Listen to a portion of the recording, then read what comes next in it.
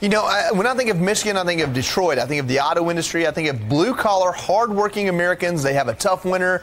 They, I know they love to hunt and get outside. When I think of people in Michigan, I think of people pretty similar to, to those of us in Georgia. I feel like maybe unions have held them on the blue side for a while. Is there a potential for Michigan to swing red here in this election? No, absolutely. Uh, people are beginning to wake up to the fact that Democrat Party um, will say that you didn't build that or, or, your children don't belong to you. This is a party that feels like they know how to spend your money and they know how to raise your kids better. I'm about parental rights and making sure that we protect those. I'm about the right to free speech, the, the right to keep and bear arms. And, and these are things that are in jeopardy, at least questions by the other side. We need to have folks who understand what it takes to bring back jobs, lower prices, and make our communities safer, drive down crime, because this elitist, leftist agenda has made us less safe. It has made the dollar um, uh, stretch so thin for, so, for folks who are yeah. in desperate situations. We need to get representation who experience and understand what it takes to bring back jobs, lower prices, and keep our communities safer.